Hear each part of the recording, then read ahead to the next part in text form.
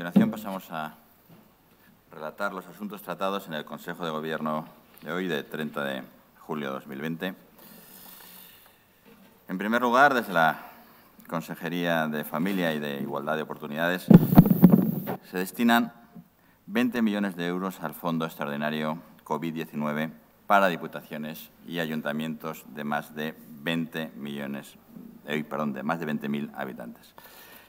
Son las subvenciones incluidas en el acuerdo eh, marco de, cofinanciación y a través del fondo, eh, del segundo fondo extraordinario COVID-19.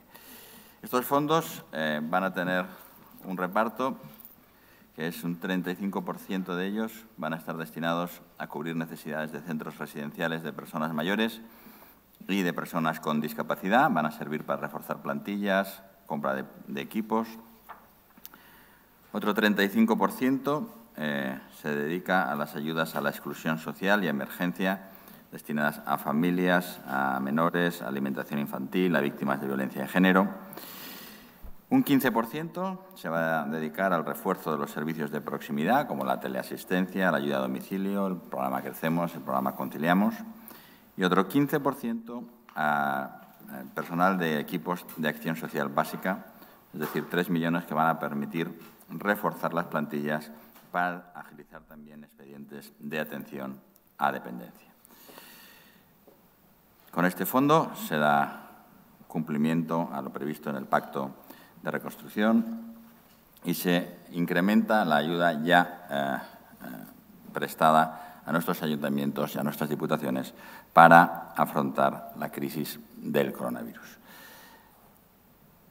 En segundo lugar, eh, la Junta declara de emergencia la prestación de servicios de atención residencial y asistencia personal por parte de tres entidades del tercer sector, un total de 621.000 euros que afectaban a tres entidades como son la Asociación de Padres de Autismo, Asprona León, el Centro Especial Padre Cegri, la Fundación España, Hermanos Hospitalarios, Asprodes en Salamanca, Intras en Ávila, San Cebrián en Palencia, el Geriátrico San Blas, las Hermanas Hospitalarias, el Centro Sociosanitario de Palencia, la Orden Hospitalaria Hermanos San Juan de Dios, la Saleta en Salamanca y la Fundación Personas en Valladolid. La Consejería de Empleo e Industria, y esto es una buena noticia y es un buen día eh, para la provincia de Ávila, eh, aprueba los 26 millones de inversión del eh, plan territorial, del programa territorial de fomento. Se van a promover iniciativas sobre suelo industrial, impulso de infraestructuras logísticas, apoyos financieros específicos y para la generación de transferencia del conocimiento y la promoción del emprendimiento en la provincia de Ávila eh, tan eh, necesitada de este programa tan demandado eh, durante los últimos años. El compromiso de inversión de la Junta asciende a 26 millones de euros, lo que implica más del 75% del montante total, fijado en 34,5 millones, dos millones adicionales pondrá la Diputación y otros 6 millones el Ayuntamiento de Ávila, del total de 34,5 millones. Se van a hacer eh, impulso a los polígonos de Pico Lozano, Las Hervencias y La Colilla y, como nos he dicho, eh, capital riesgo para proyectos interesados en implantarse en la zona, eh, acción formativa vinculada a la industria agroalimentaria y, en total, un conjunto de medidas que esperamos sirvan de promoción de la actividad industrial en la provincia de Ávila. la Consejería de Transparencia, Ordenación del Territorio y Acción Exterior ha presentado eh, la auditoría externa extraordinaria, eh, la primera auditoría extraordinaria de 2020, sobre el funcionamiento eh, del trabajo no presencial durante la crisis del coronavirus.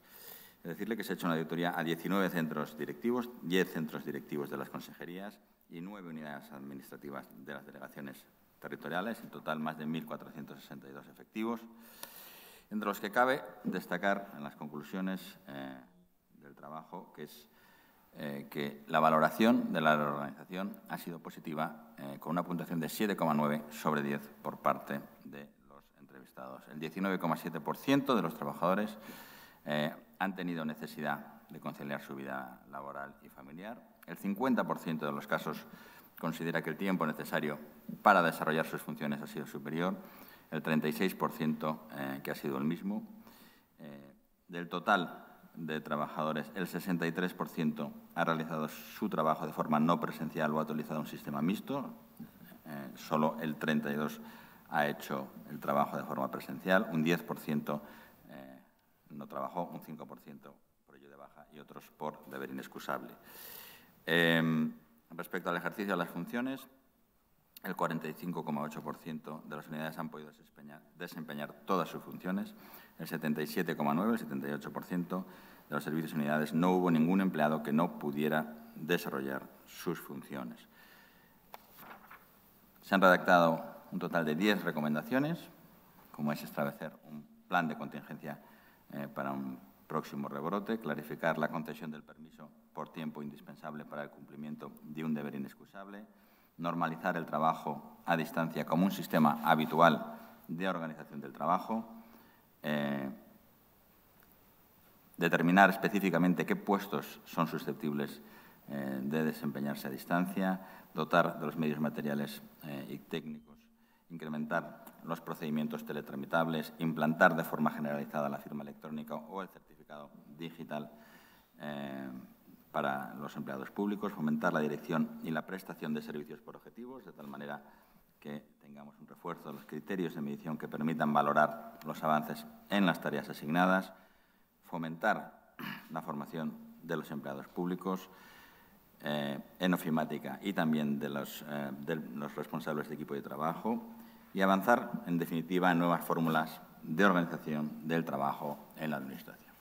En resumidas cuentas, una auditoría completa que podrán ver el resumen en el portal de transparencia de la comunidad, que nos indica que la organización del trabajo a distancia durante la crisis ha sido una organización eficaz, no exenta de problemas, no exenta de, sus limitaciones, pero que ha sido muy bien valorada por el conjunto de los trabajadores públicos y que nos ha permitido mantener la actividad eh, de manera eh, prácticamente eh, sin alteraciones significativas y que además nos sirve para replantear el funcionamiento de la Administración Pública de cara al futuro y para replantear, cuando tengamos la norma que el Gobierno está elaborando acerca del teletrabajo, las condiciones también del teletrabajo en, la Junta de Castilla y León.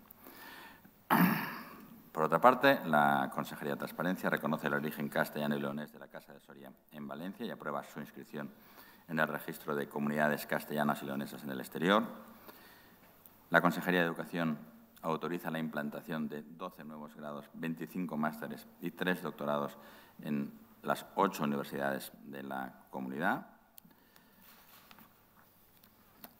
La Consejería de Educación también eh, destina una subvención de 300.000 euros a la Diputación de León para financiar las obras de reparación, conservación y mejora en colegios rurales. Era hasta este momento la única diputación a la cual no se le había eh, dado esta subvención, a excepción de la Diputación de Segovia, que eh, ya desde el año pasado no entra en este plan eh, por voluntad propia.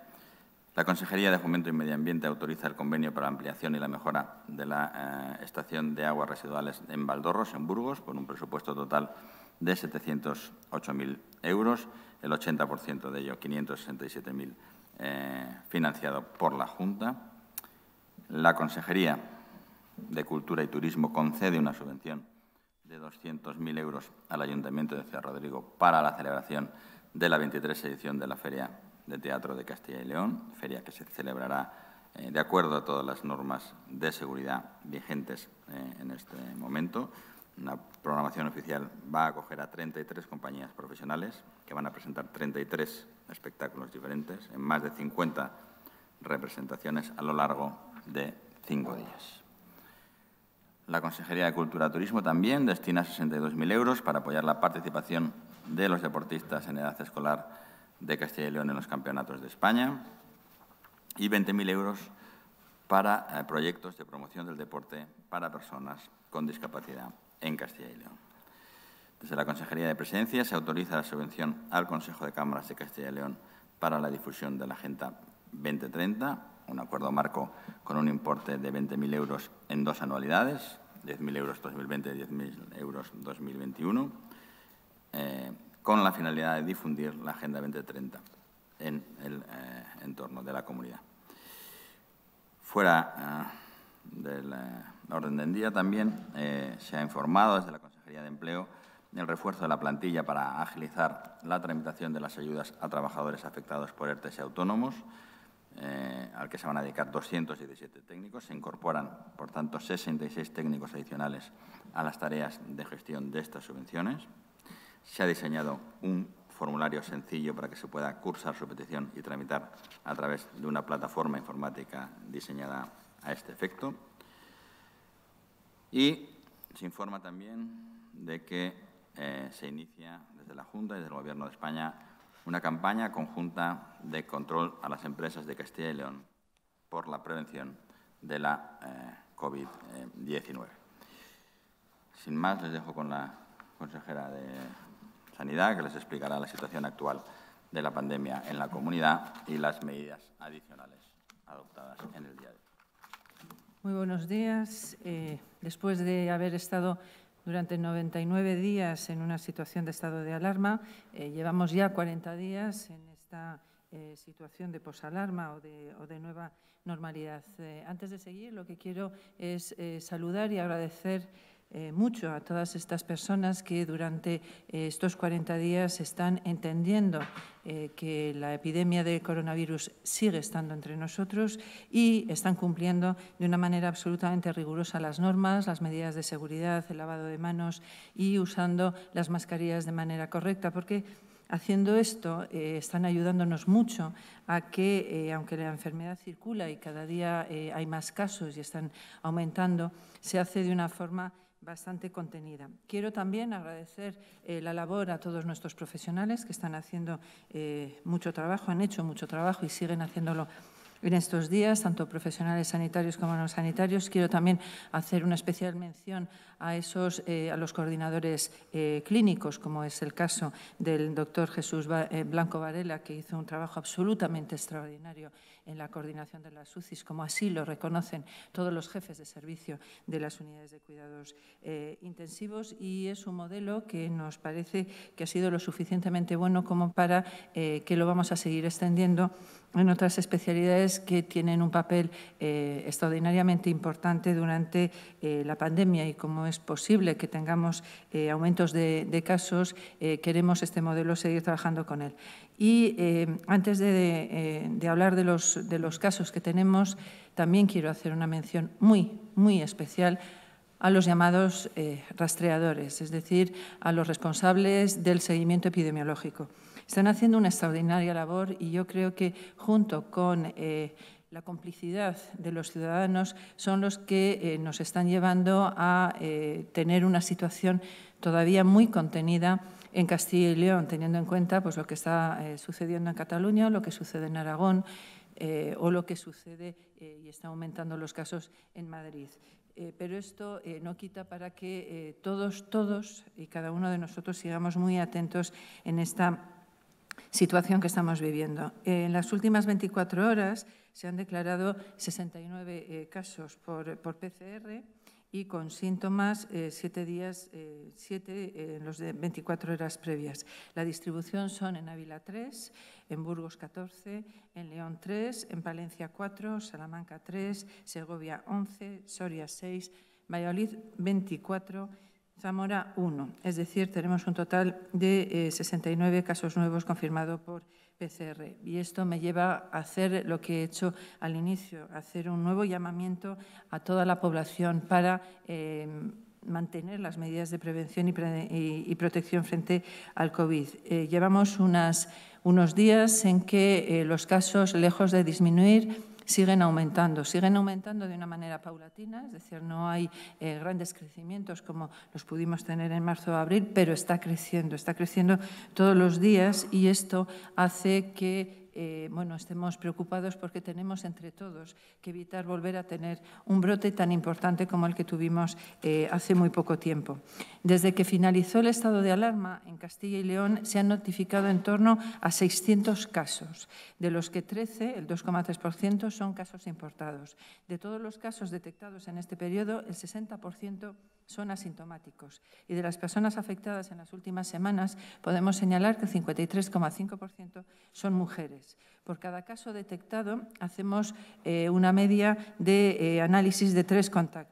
La distribución por grupos de edad presenta un mayor porcentaje de casos. Eh, tenemos un 21,2% de personas mayores de 70 años, seguido del grupo de edad de 20 a 29 años, grupo que antes era testimonial y, sin embargo, en el cual estamos empezando a detectar un incremento importante de casos, hasta un 15% de la totalidad de, casos. Y yo quiero también aquí aprovechar para hacer un llamamiento a los jóvenes. Em, yo sé que hay muchísimos jóvenes que lo, que lo están haciendo muy bien, que están em, sabiendo que no eh, pueden estar en acumulaciones, sabiendo que no pueden hacer botellón, sabiendo que tienen que mantener la distancia, utilizando eh, también las mascarillas pero eh, también hago un llamamiento a aquellas personas que parece que esto a ellos no les va a pasar nunca, pero les está empezando a pasar. Puede haber casos importantes entre jóvenes, pero lo peor es que ellos pueden contagiar y pueden contagiar a las personas más vulnerables. Y las personas más vulnerables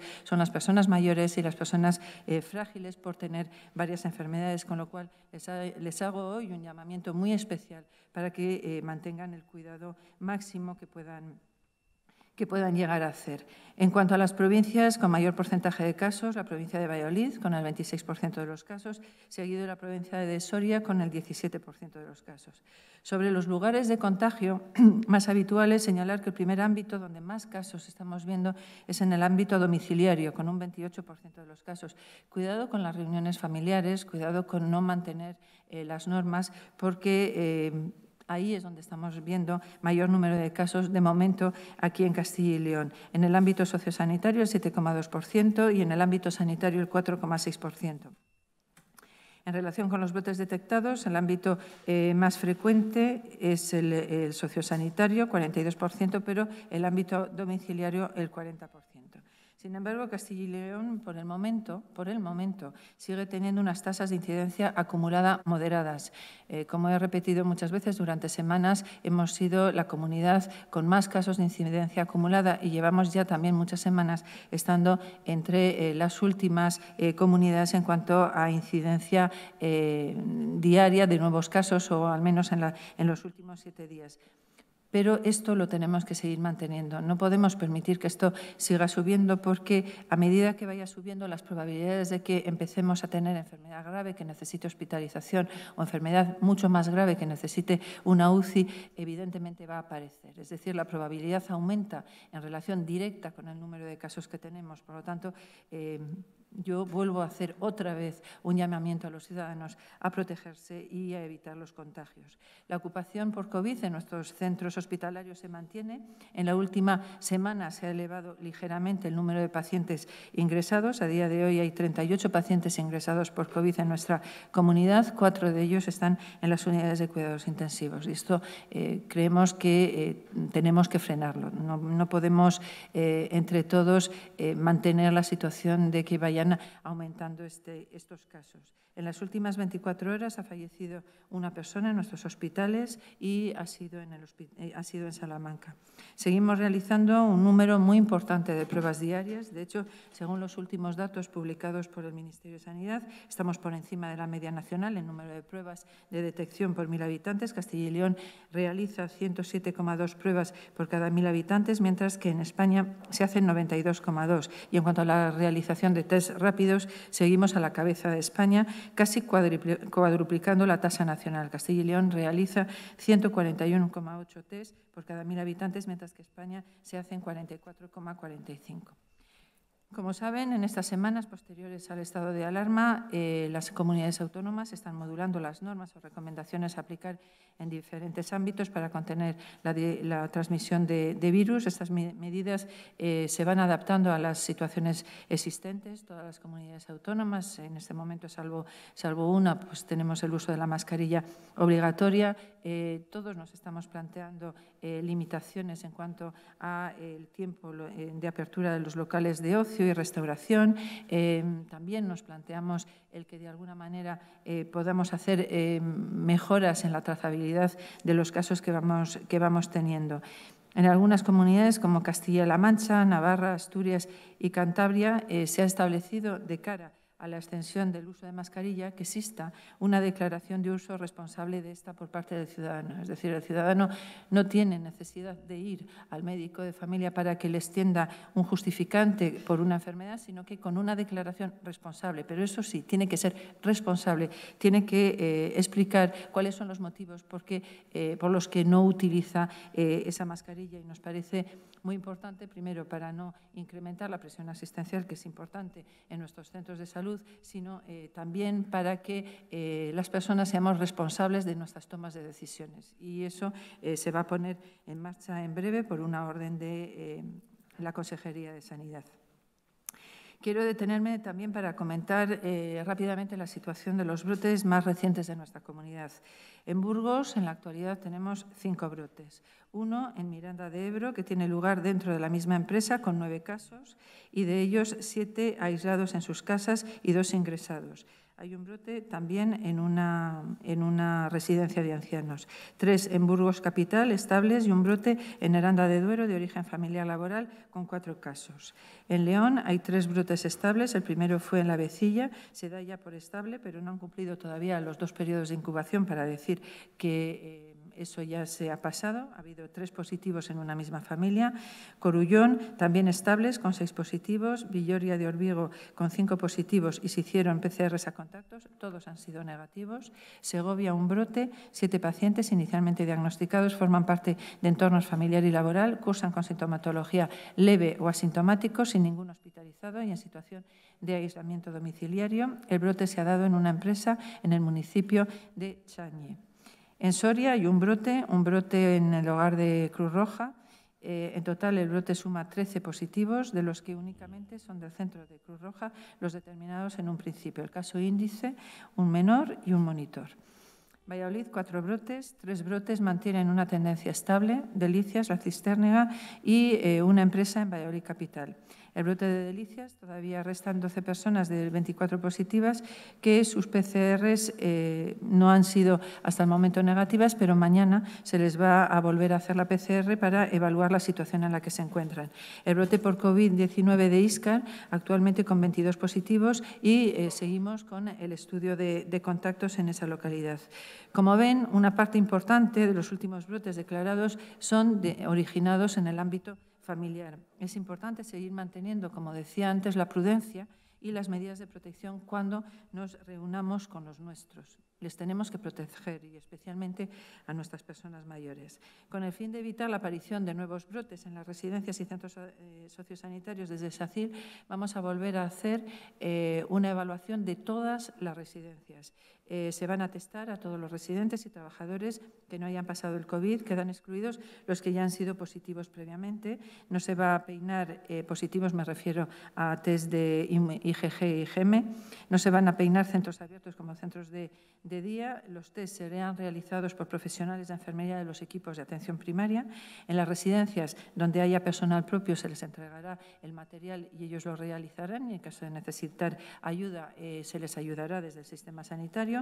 A aquellas eh, personas que se detecten en ese ámbito que tienen una IgM positiva con una IgG negativa, se les hará la PCR. Se va a hacer también PCR al personal de nueva incorporación y al personal ausente durante al menos 15 días. Y a aquellas eh, personas que estén eh, residentes, que estén fuera del, del, centro y se vayan a reincorporar después de 15 días, también se les realizará la PCR. Seguimos trabajando activamente para hacer el seguimiento y estamos firmemente convencidas que gracias a la extraordinaria labor que están haciendo los responsables de seguimiento epidemiológico, es decir, los rastreadores, estamos eh, consiguiendo eh, que, la, que, la, situación no se dispare y de momento sigamos en una situación de contención de, casos, porque el trabajo que ellos hacen, eh, detectan el caso, evalúan los contagios, ponen aislamiento, cuarentena según la, según la situación y eso es lo que eh, nos está sirviendo a Castilla y León eh, bueno, de seguir en la, en la zona en la que estamos, aunque estemos creciendo. Pero eh, de aquí vuelvo a decir que les agradezco enormemente su labor y también la labor de los equipos directivos, porque estamos, bueno, pues de alguna manera contratando muchos rastreadores para poder hacer esta labor. Lo que nos correspondía a Castilla y León, según la tasa establecida por el Ministerio de Sanidad, era un eh, rastreador por 5.000 habitantes que nos llevaba a un total de 462 rastreadores en Castilla y León. Esta mañana teníamos 593 y probablemente eh, en algunas áreas donde hay más casos aumente el número de rastreadores. Eh, seguimos, eh, bueno, comentar que ayer tuvimos una reunión con los expertos designados por eh, los diferentes partidos políticos. He de decir que fue una reunión muy agradable, una reunión en la que eh, yo creo que eh, todos tenían eh, muy claro cuáles eran los objetivos. ha habido más de 100 aportaciones de los diferentes grupos políticos, la mayor parte de aportaciones con un grado de, consenso muy, muy alto y aquellas que no ha habido consenso serán, serán debatidas en estas próximas semanas porque el objetivo es, a la vuelta de verano, tener nuestro, nuestro documento eh, cerrado. Pero la predisposición fue eh, muy grande y, desde luego, a mí me gustaría que Castilla y León tuviera el honor de eh, tener una comunidad en la que hay un consenso para la reconstrucción, el reforzamiento del sistema sanitario público. Y el ver los trabajos y, la motivación que hay en, los expertos de los partidos políticos es algo que eh, evidentemente nos hace tener mucha esperanza en que este objetivo lo vamos a poder conseguir. En cuanto a hacer un breve comentario en cuanto a las demandas que están eh, surgiendo sobre las condiciones laborales de, los MIRES, eh, a mí me sorprende mucho que, que esto suceda en Castilla y León porque no ha habido incumplimiento de compromisos suscritos durante la pandemia. No sabemos a qué, se pueden estar eh, refiriendo, pero eh, los compromisos en materia retributiva, incluida la gratificación que tienen en cuenta los residentes, como la fidelización en todos los eh, lugares y centros y dispositivos donde hay una necesidad acreditada, se ha hecho. En cuanto a la tabla de reivindicaciones en cumplimiento de la normativa vigente en materia de jornada laboral y de descanso posguardia, se está cumpliendo y si no es así, puntualmente esto se tiene que, que recoger y desde luego en el último año no ha habido en la reunión de mesa sectorial en ningún momento ninguna, ningún debate en relación a, este tema.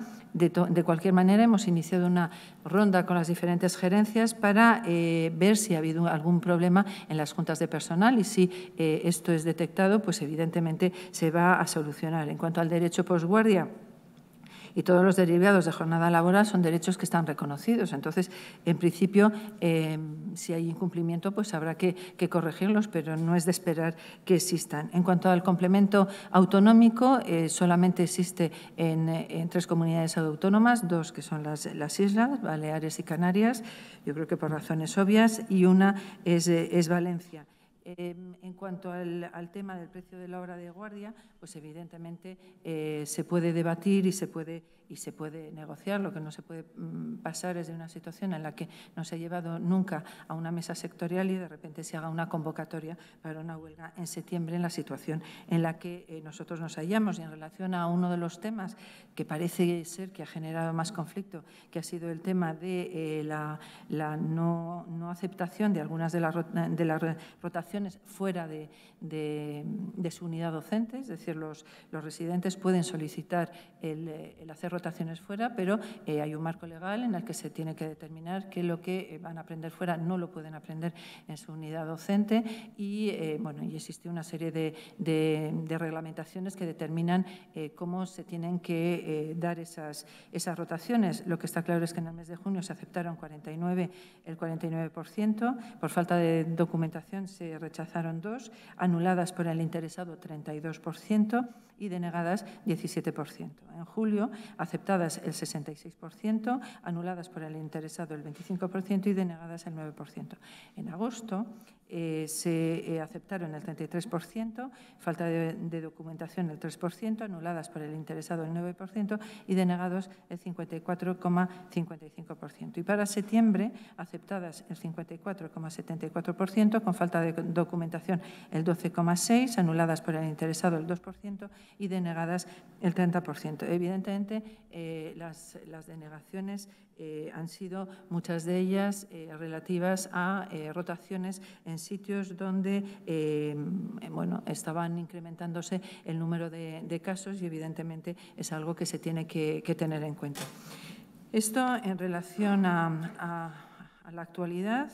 Eh, evidentemente nosotros estamos absolutamente dispuestos a hablar con los residentes. De hecho, desde alguna plataforma y alguna asociación eh, ya han hablado con nosotros y evidentemente eh, no seremos nosotros los que hemos estado implicados toda nuestra vida mucho en la formación especializada los que no estemos dispuestos a analizar la situación que tienen nuestros, nuestros residentes.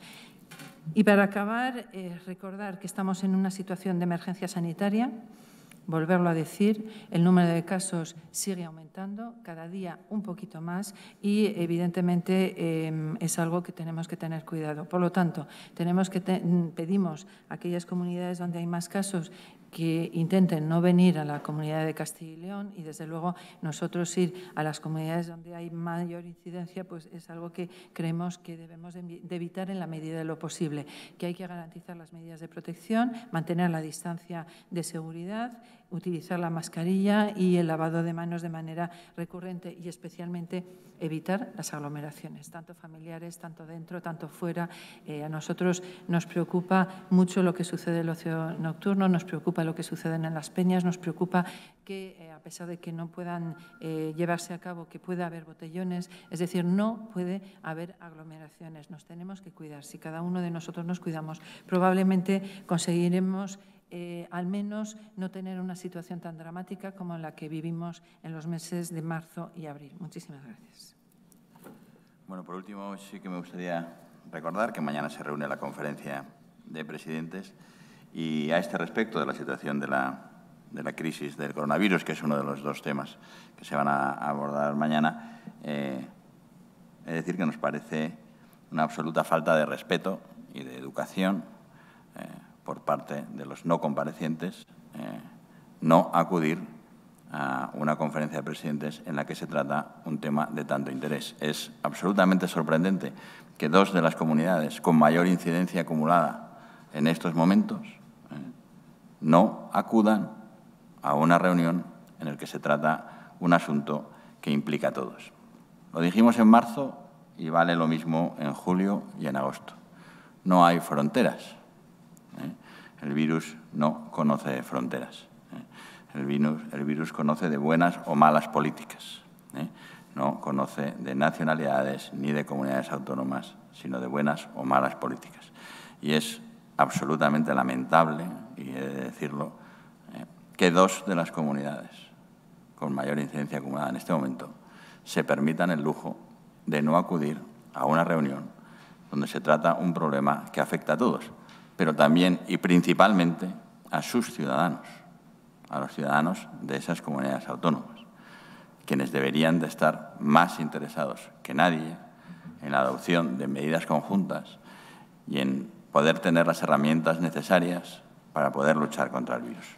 Es absolutamente sorprendente, es una falta de educación y es una falta de respeto a la ciudadanía, a toda la ciudadanía, a la de esta comunidad pero especialmente a la de las comunidades autónomas que han decidido, por motivos eh, políticos, no acudir mañana a una reunión donde se van a plantear medidas que afectan a todos y principalmente a sus ciudadanos, que son quienes en este momento están en peores condiciones. Y sin más, quedamos abiertos a sus preguntas. Consejera, respecto a los datos, ¿Con qué dato nos quedamos? ¿Con esos 69? ¿Con esos 7? ¿Qué diferencia hay? Lo digo por las dificultades, vamos, por lo menos yo personalmente que estoy teniendo a la hora de trasladarlo. ¿Cuál es el dato real y qué diferencia hay? ¿Cuál es el que vale? Eh, la diferencia es que sean eh, sintomáticos o no. Eh, los 69 casos son PCRs positivos. Algunos de, esos de esas positivas se descubren por personas que van al hospital a hacerse una prueba o que van por otro motivo y se les hace la prueba y aparece PCRs positivos. cuando hablamos de los casos diagnosticados con síntomas el día previo, significa que se les ha hecho la PCR porque había fiebre o había tos o había algún motivo por el que pensar pero em, la cifra más importante son las PCRs positivas, los 69. Sí, yo quería preguntarle sobre la declaración responsable, cuándo se va a poner en marcha, cuándo va a salir esa orden. Eh, luego sobre los brotes, eh, se habla de un brote en León que la Junta no reconoce en una academia militar, que parece que hay seis positivos, ya hablamos de ello la semana pasada, parece que ese brote se descartó, pero se sigue insistiendo en que hay seis positivos, y nos puede aclarar.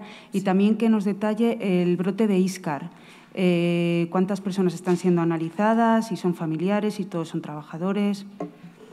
A ver, era brote de Iscar, brote de León y la primera, la primera pregunta era la declaración responsable. Eh, están trabajando los servicios jurídicos y probablemente se pueda, se pueda tener cerrado este, este viernes para publicarlo, para que sea efectivo a partir del sábado. En cuanto al brote de León, el brote de León eh, hubo, saben que se produjo en la Academia eh, de Policía del Aire en León, eh, había muchos bueno, muchas personas que, fueron, que habían hecho su formación online, pero que iban a recoger los despachos que les, daban, que les daban ese día. Entonces, eh, ayudó nuestra, eh, nuestro sistema sanitario, ayudó a su servicio de prevención a eh, detectar los casos que ellos habían detectado con los anticuerpos. Entonces, en aquel momento había una serie de personas que me parece que eran seis que tenían anticuerpos positivos. Esos anticuerpos positivos en ese momento se les hizo la PCR y fue negativa. Pero otras personas de ese grupo, no sé cuántos eran, si en torno a 200, de ese grupo en ese momento podían estar en periodo de incubación fueron negativos, no había ni anticuerpos ni había PCR y que pasados los días pues eran eh, PCRs positivos. Eh, ¿Y qué es lo que sucedió? Pues que no se respetó el tema de las aglomeraciones, se hicieron fiestas y esas fiestas pues generaron que hubiera más, más contagios.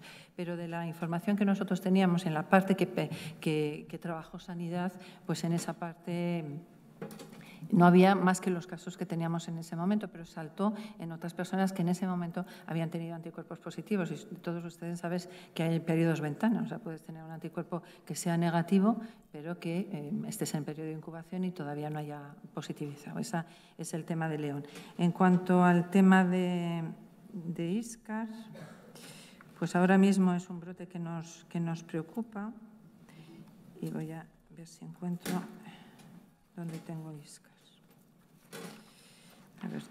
Burgos, Segovia, Valladolid. Actualmente son 22 eh, positivos y nueve de ellos son de ámbito laboral y el resto del estudio, eh, bueno, son nueve del ámbito laboral y ahora mismo se siguen estudiando contactos, pero por el momento ya hay 22 positivos. Es probablemente el brote en Valladolid que más, eh, bueno, que más nos preocupa, entre comillas, por el volumen que tiene. ¿En la Academia Militar hay o no hay brote? No, no. Bueno, vamos a ver. En la Academia Militar, en el momento que nosotros hicimos el estudio, no había brote. Pero aquellas personas que estuvieron allí a lo largo del tiempo, algunas de ellas, parece ser que eh, alguna que fue a Andalucía, alguna que fue a Canarias, pues han aparecido positivos. Es decir, son eh, brotes que aparecen en otras comunidades autónomas cuando están en otras comunidades autónomas.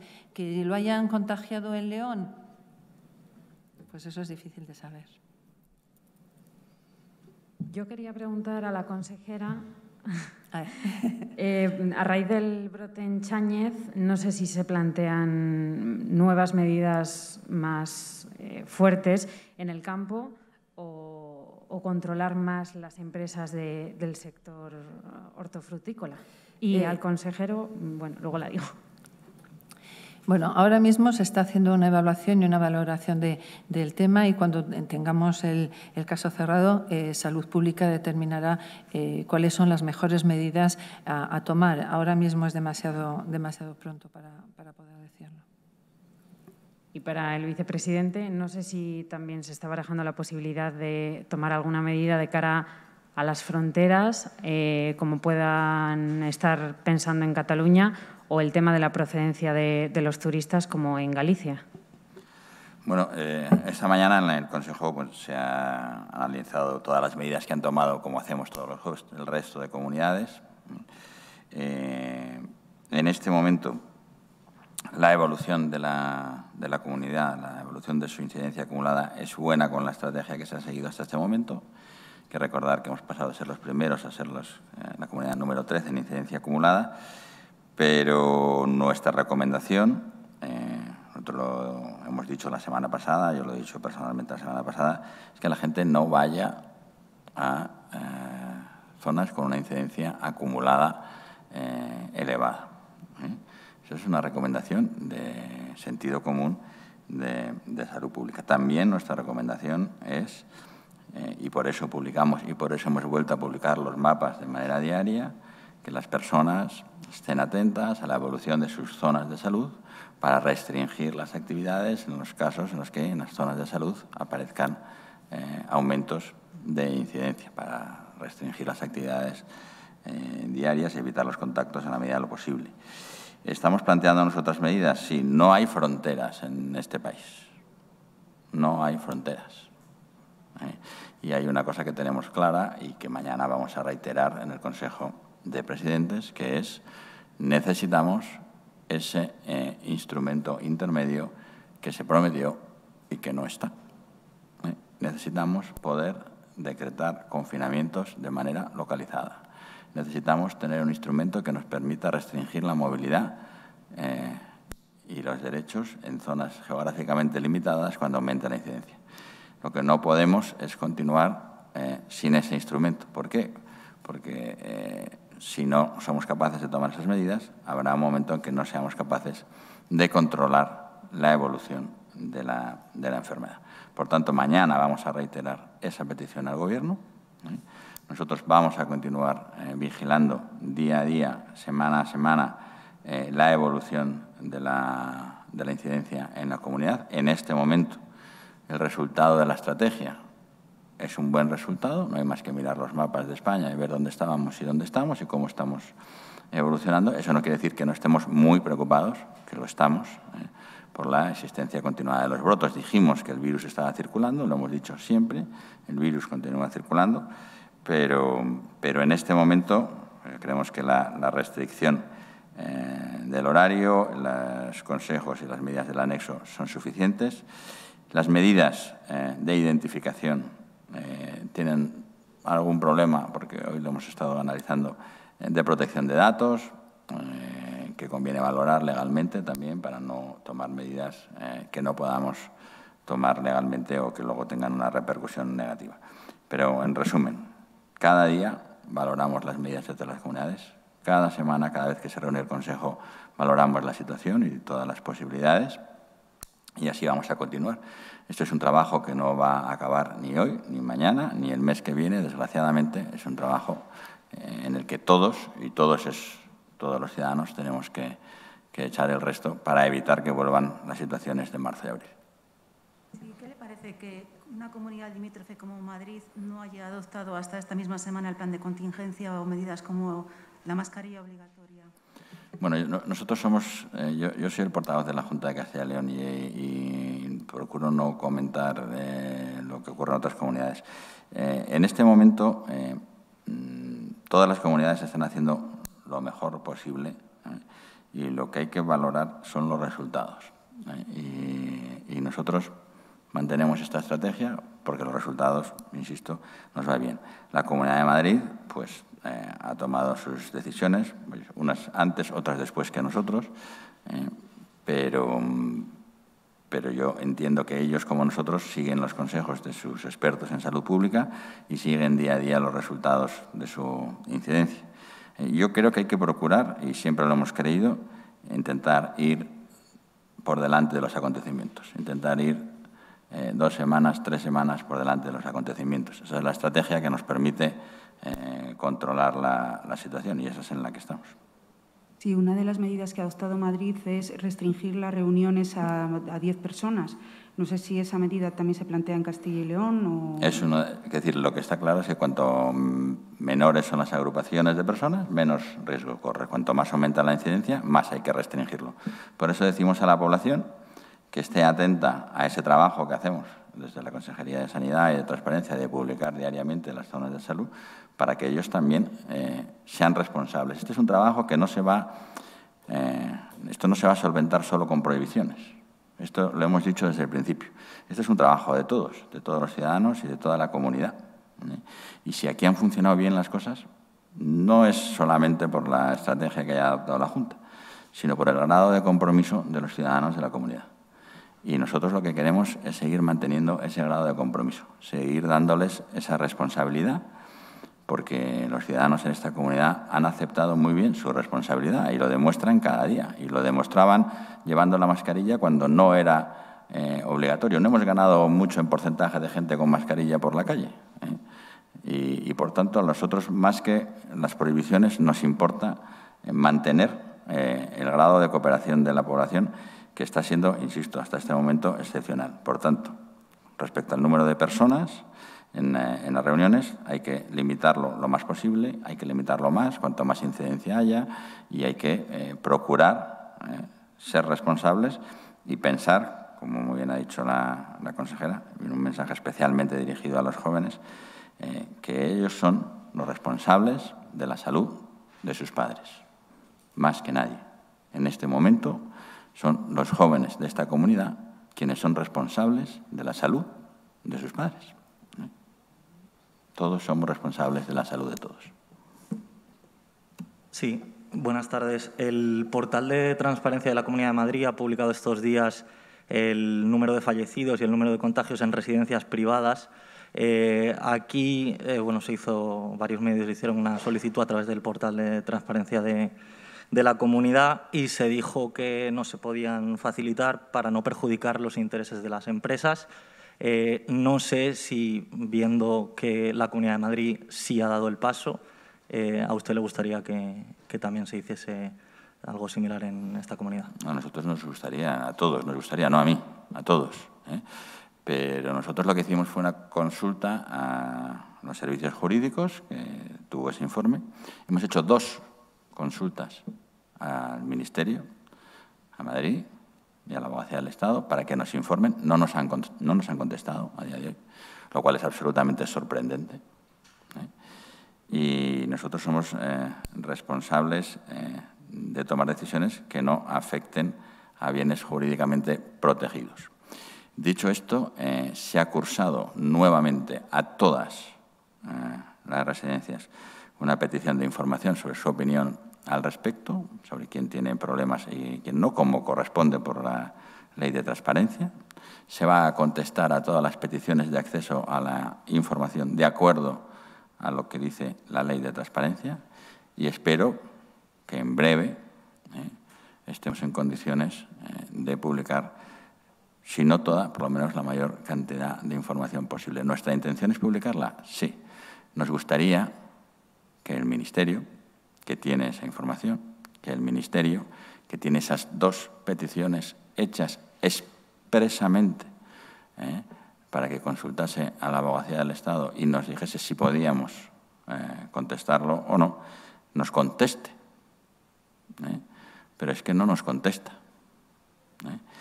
Y quienes tienen esa información, insisto, son el Ministerio de Asuntos Sociales y también, con respecto a los fallecidos, el Ministerio de Justicia eh, y la Dirección General de Registros, que son quienes tienen esa información.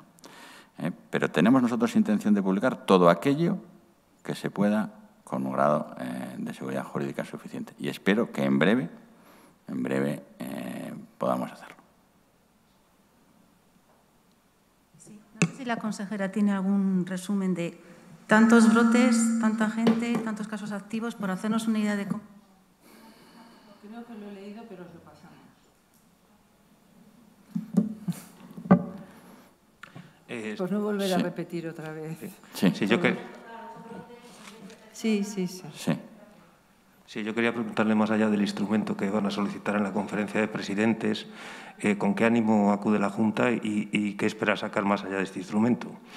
Bueno, hay dos asuntos importantes sobre la mesa, que son eh, la gestión eh, de la pandemia y dos, la gestión de los fondos. Acudimos con el mejor de, los ánimos y con las propuestas concretas sobre el control de la pandemia que hemos dicho y eh, con una idea clara de que eh, el reparto de los fondos tiene que eh, resolver los problemas originados por la pandemia en aquellas comunidades que han tenido más problemas y también que de cara al futuro tenemos un problema demográfico, como ya habló el presidente, que también se tiene que ver reflejado en esto.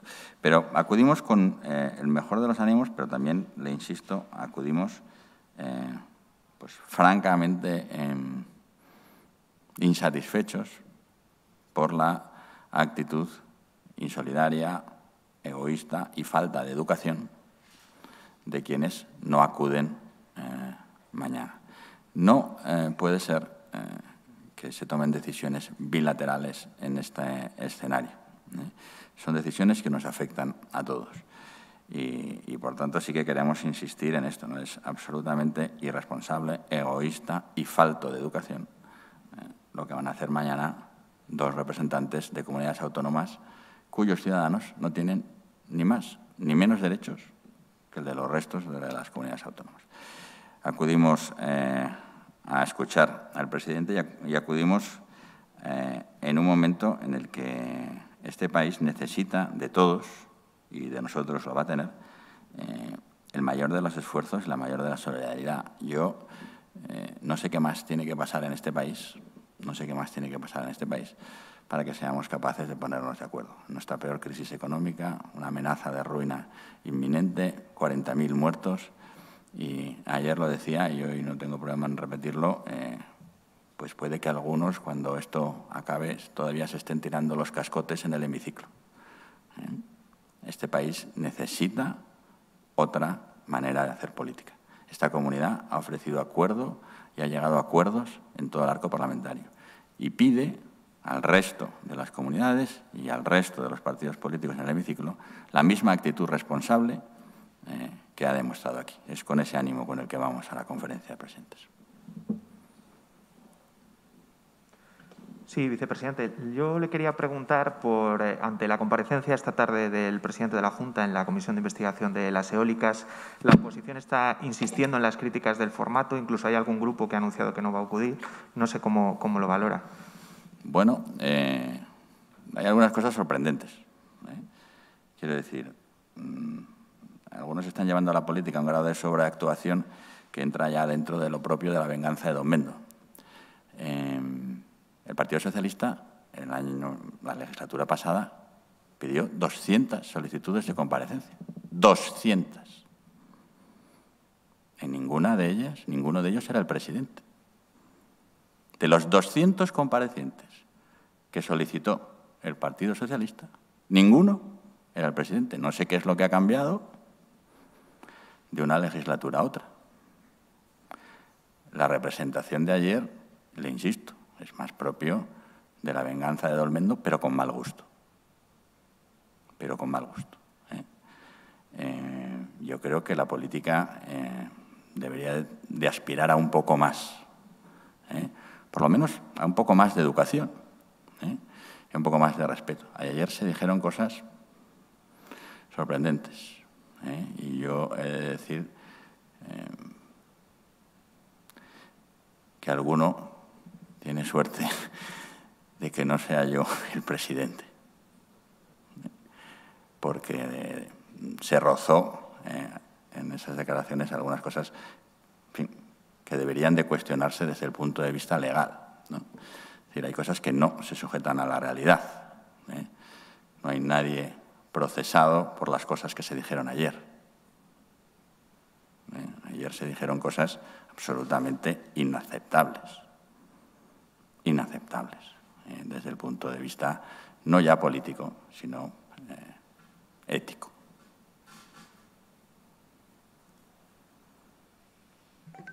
Sí, eh, yo puedo insistir con el, el brote de Iscar, 22, mm, 9 trabajadores y el resto, de, ¿a qué responden? ¿Son familiares? Familiares. Con... familiares. familiares. Una vez finalizado el turno de preguntas en la sala, vamos a dar paso a los tres periodistas que nos vienen siguiendo hoy por videoconferencia. El primero de ellos es Carlos Domínguez de Ileón. Adelante cuando quieras, Carlos, puedes preguntar. Hola, buenos días. Creo que me habéis dado paso porque he perdido por un instante la, señal de sonido. Quería preguntar, por un lado, al, al vicepresidente, al portavoz, eh, si se han planteado una valoración respecto a la aprobación esta mañana en el Ayuntamiento de San Andrés del Rabanedo, en el tercer ayuntamiento de la provincia por número de población, de la moción, a favor me refiero, de la moción que solicita la autonomía para la región leonesa y que hace que el cómputo global de la población representada en los ayuntamientos que de momento han aprobado esa moción se acerque ya a la mitad de la población de la provincia. Eso por un lado. Y por el otro sí que quería matizar, creo que nos han anunciado que va a repetirse eh, las analíticas de, de, PCR en las residencias de ancianos, comentó la consejera. Quería simplemente saber, entiendo que sí, pero quería confirmarlo si se refiere a todas las residencias, las públicas, las de la Junta de Castilla y León, las municipales, también las privadas, o solamente algunas de ellas. Bueno, ya contesto a esto. A todas y el, el estudio que se inicia es el estudio de anticuerpos, IgG y IgM. Si es positiva la IgM y la IgG es negativa, se hacen PCRs, es decir, se, eh, seguir el protocolo habitual que hemos hecho en todos estos casos. Sobre el asunto de San Andrés de, del Rabanedo y de las votaciones, yo sobre este asunto eh, lo que me gustaría es que la próxima vez eh, que partido político como el Partido Socialista se presentase a las elecciones llevase las cosas en su programa. ¿no? Yo no recuerdo haber visto en el programa del Partido Socialista en ningún momento eh, que iba a apoyar las mociones a favor de la autonomía leonesa. En este momento mmm, el Partido Socialista está insta instalado, y yo se lo he dicho varias veces, en, una política eh, que está consiguiendo que el señor Tudanca se limite a ser el secretario eh, general del Partido Socialista de Burgos, ¿eh? porque hay un Partido Socialista en cada provincia, una reivindicación en cada provincia y un incremento del sentimiento de, de, agravio y de ofensa en cada provincia. Eh, y cuando hay nueve provincias y en todas ellas hay un secretario o un portavoz o un alcalde del Partido Socialista que indica que la suya está más agraviada que otra, pues es evidente que en alguna de ellas no es cierto. ¿eh? Porque no puede ser ¿eh? que las nueve provincias estén todas más agraviadas que la de al lado. Es una manera de hacer política eh, altamente peligrosa, eh, que pone en peligro pues, eh, el sistema, el sistema tal y como lo conocemos, y, es fruto bueno, pues de la frustración, de la frustración y de la ausencia de un proyecto político para la comunidad que se pueda defender. Yo entiendo la postura de Unión del Pueblo Leonés, porque es su postura. lo que no entiendo es la, la postura de un partido socialista que, insisto, está dejando a su secretario general como secretario general del Partido Socialista de Burgos y punto. Es el turno ahora de Teresa Sánchez de Tribuna de Salamanca. Cuando quieras, Teresa. Hola, ¿qué tal? Buenos días. Eh, quería preguntarle a la consejera de Sanidad sobre la cartilla COVID, o la llamamos así eh, de manera coloquial, que se planteó ayer en, Ma en Madrid y generó cierta polémica. No sé si, por lo que sabe, tiene que ver con aquel primer planteamiento que hubo aquí en Castilla y León y si piensan que una herramienta sí podría ser, ser útil. Y preguntar un poco al vicepresidente, mmm, supongo que harán una buena valoración de que eventos como las ferias de día que se celebran en sitios como Salamanca o Valladolid a primeros de septiembre, que acumulan mucha gente, empiecen a plantearse que no, no se van a celebrar. Y un poco para los dos, un poco la sensación que tuvieron ayer al ver el, el aforo que había en el Congreso de los Diputados. Muchas gracias.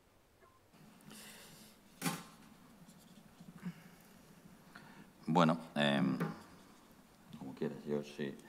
Sobre la cartilla COVID llegamos a las polémicas con meses de retraso. Es decir, esto tenía, fue efectivamente un asunto que se planteó hace muchos meses y que ahora mismo ya entonces no teníamos claro que esto tuviera ninguna utilidad ni tendría, y tendría serios reparos y yo creo que, bueno, que toda la comunidad científica y todas las comunidades autónomas han mostrado su disconformidad y yo creo que, bueno, pues aquí eh, eh, la cosa no tiene mucha discusión. Se ha retirado la medida, tampoco vamos a, a darle más, eh, más valor.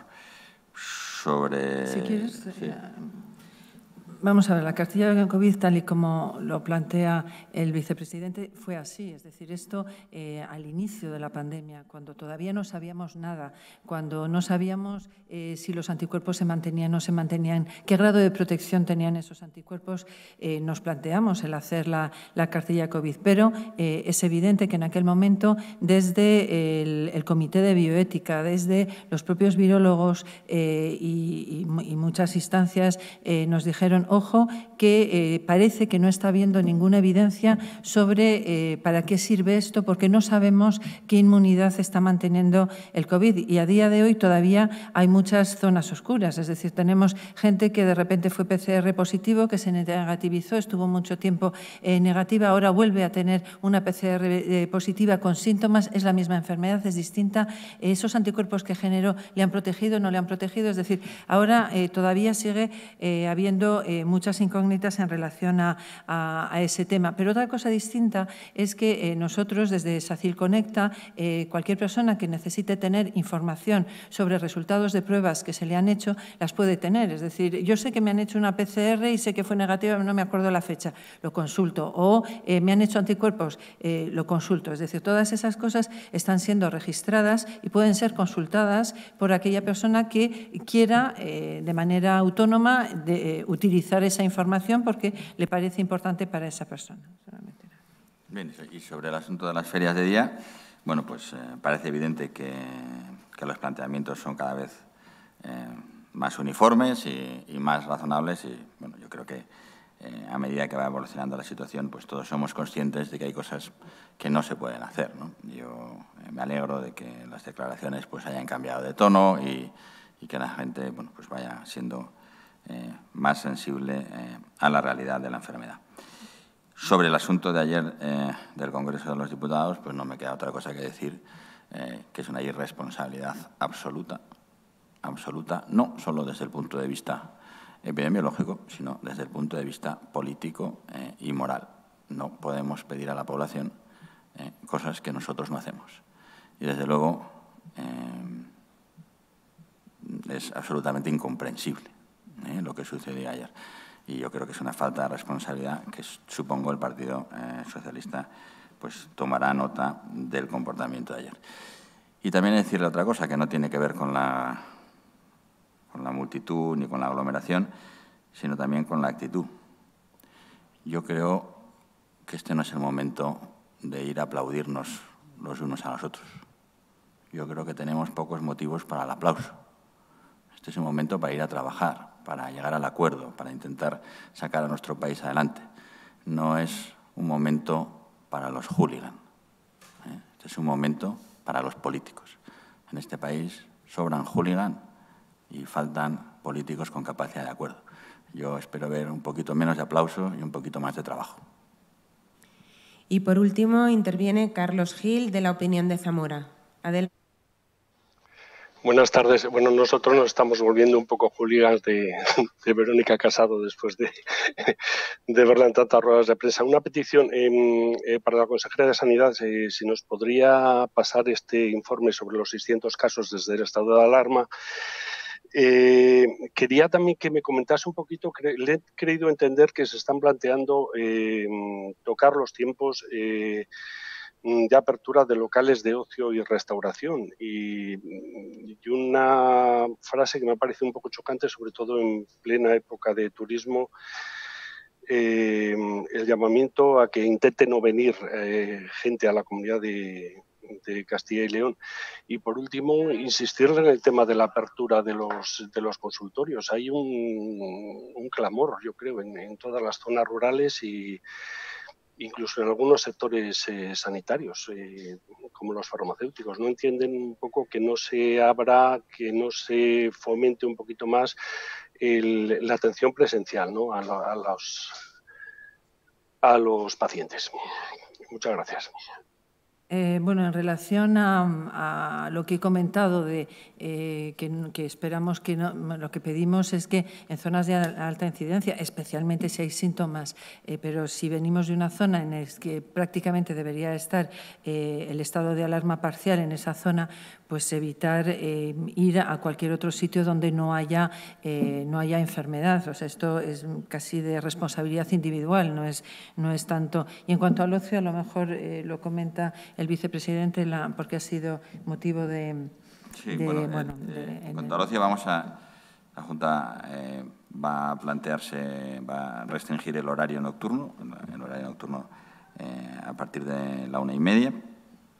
El cierre de, a partir de la una y media, en principio, nuestra intención es que ya no se permita más el acceso y a las dos se cierren los locales. Y, y es una medida que se toma porque no aquí, en esta comunidad, pero sí en el conjunto eh, de la nación, hemos observado muchos brotes que tienen relación con eh, eh, los episodios de ocio nocturno. Por tanto, aunque aquí no los haya habido, insisto, esto no es una isla, ni el comportamiento es esencialmente diferente del virus aquí ni allí, y aprendemos un poco también de las cosas que ocurren alrededor y por eso tomamos esta medida.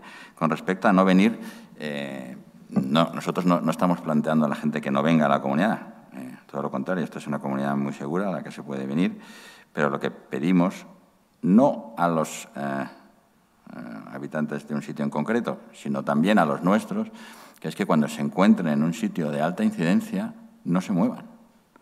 Porque esto es lo que provocó la primera ola. ¿eh? Lo que tenemos que decir a la gente y ser coherentes es cuando le pedimos a Madrid que no se mueva, cuando lo que ocurre ocurre en Barcelona, pues tiene que ser lo mismo. no se muevan. ¿eh? Esperen 15 eh, días, esperen el periodo de incubación antes de moverse, porque el virus se mueve con las personas. Pero es que si ocurre aquí y ocurre en una provincia o en una ciudad, vamos a hacer lo mismo y hacemos lo mismo. Y por eso les decimos a la gente que esté atenta a la evolución de la incidencia.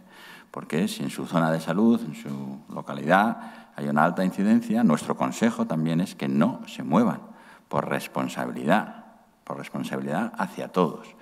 Luego, no es un consejo eh, sobre si vienen o no a nuestra comunidad, es un consejo general. Cuando uno está en una zona de alta incidencia, lo más prudente es restringir la actividad y no moverse.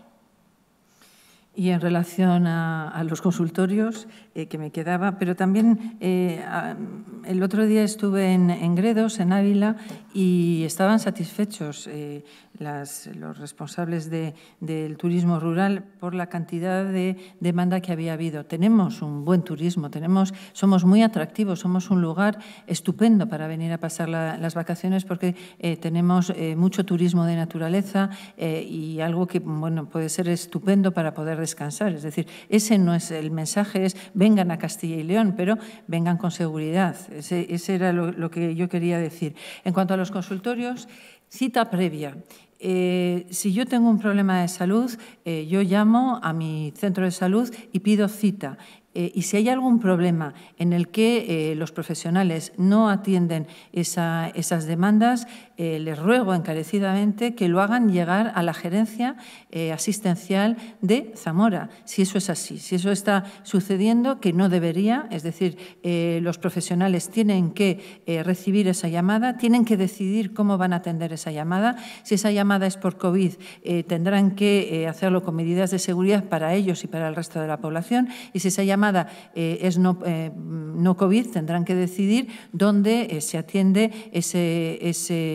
esa demanda si se atiende en el centro de salud, en el consultorio, en el domicilio del propio paciente.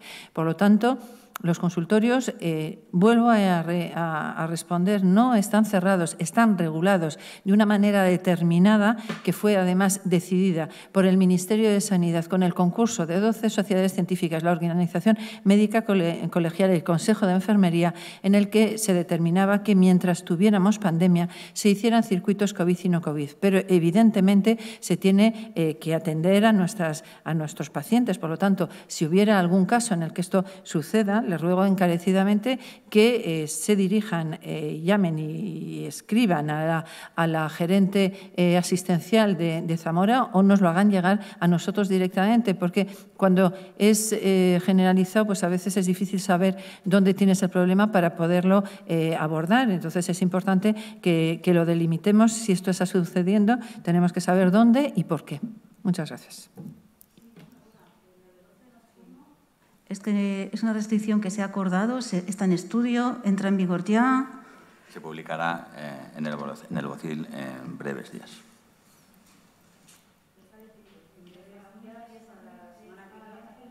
Admiten pacientes, este, pacientes, perdón. Clientes y a las dos cerrado, ¿no? Sí. ¿En todos? En todos. Hablo de si las próximas 48, 72 horas. Cerramos el turno de preguntas. Si hay algún mensaje final, así concluiremos. Yo el de siempre. Cuídense mucho, cuídense mucho cada uno de ustedes, porque si ustedes se cuidan, se cuidan, cuidan, se cuidan a sí mismos y además cuidan a sus familiares, cuidan a, sus personas mayores, a la gente, a la gente querida. Y, y, reitero lo que he dicho antes, el mensaje a nuestros jóvenes. Sé que son conscientes, sé que la mayor parte de ellos lo hacen bien, pero por favor eh, cuídense mucho también eh, las personas jóvenes, huyan de las aglomeraciones, pónganse eh, por favor el, la mascarilla, lávense mucho las manos porque el coronavirus sigue circulando y, estamos teniendo eh, brotes muy importantes en comunidades que no están lejos de nosotros. Entonces, vamos a intentar evitarlo lo más posible. Muchas gracias.